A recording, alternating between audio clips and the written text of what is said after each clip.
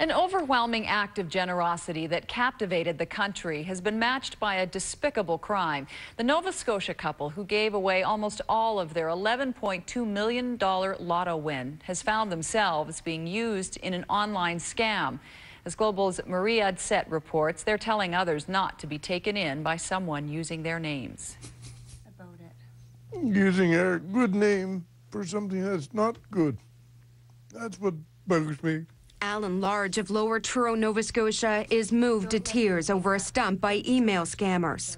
We're hardworking, honest people. Allen and Violet Large, who is being treated for cancer, shocked many this year when, in an act of overwhelming generosity, gave away most of their $11.2 million lottery winnings to local charities and community organizations.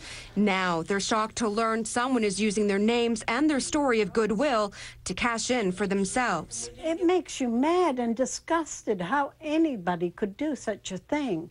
They must be sick in the head.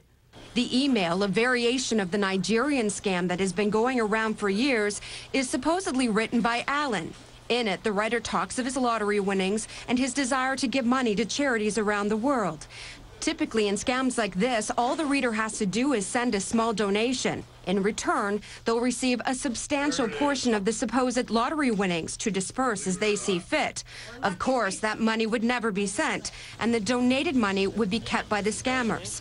For Allen, the latest incident makes him regret ever winning in the first place. This extra money was nothing but a bloody headache, and I mean headache, a great big headache. Violet and Allen Large say the winnings are all gone and want to protect anyone from falling victim to the scam. Now the couple just wants to spend a quiet Christmas. Marie Adsett, Global News, Lower Truro, Nova Scotia. And investigators say the best way to deal with these emails, as with most spam, is to delete it even before opening it, regardless of what the email's subject heading might read.